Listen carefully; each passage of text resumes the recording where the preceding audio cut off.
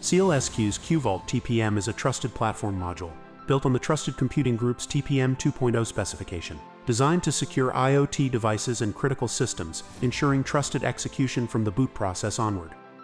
QVault TPM is certified to common criteria EAL4 Plus and FIPS 140-3, providing secure storage for cryptographic keys, and supporting RSA 2048, ECCP 256, and ECCP 384 algorithms.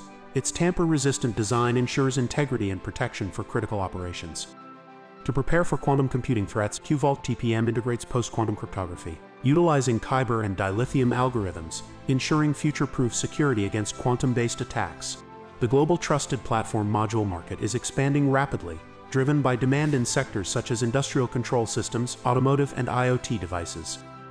Expected to reach 108 million units by 2027, TPMs like QVault TPM offer security tailored to these environments with I2C and SPI interfaces and advanced cryptographic capabilities. You focus on your application, we take care of security.